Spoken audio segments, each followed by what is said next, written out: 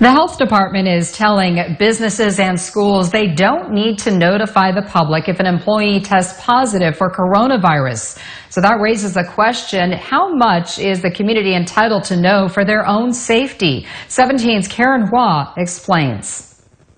I have multiple sclerosis and I just got diagnosed with cancer.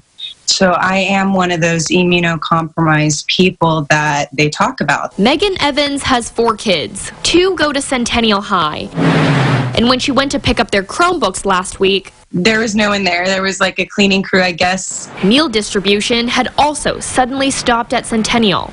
It made her wonder if someone at the school had gotten the virus. So we asked Kern High School District, and they said as per guidance from Kern Public Health regarding the privacy of medical information, KHSD cannot confirm or deny that any member of our district community has tested positive for COVID 19. That's what Public Health has instructed every school district to say. So if a teacher tests positive, administrators can't notify parents, students, or staff. If I were to know ahead of time that one of my children were exposed, I could do the precautions at my own home of quarantining myself to my room or something. Public health has been pretty tight lipped when it comes to positive cases. I don't know. I don't have that information. There's really no way for us to answer that. Breaking information down only by age range and five very large multiple zip code geographical areas. A statement from public health read in part the employer does not need to take separate action unless advised otherwise. An employer may not have complete and accurate information to disclose.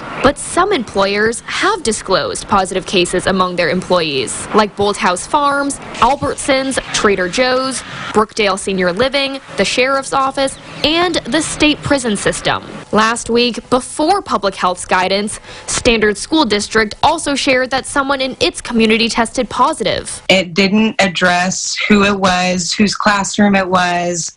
You know, it just said someone. Evans says she just wants a generic statement like that. I don't want the teacher or student or whoever it is to be singled out. That is not not what I want at all. Public Health says its guidance is directed by HIPAA privacy rules. But under HIPAA, there are 18 identifiers of information that can't be given out. Employer is not one of them. It's a sad judgment call. I think. For the health department, it's a balance to protect patient privacy and public safety. But for Evans, she says not knowing if she could have been exposed to the virus doesn't allow her to get tested or quarantine herself out of precaution. Without being informed and me being immunocompromised, that's really scary. In Bakersfield, Karen Hua, 17 News.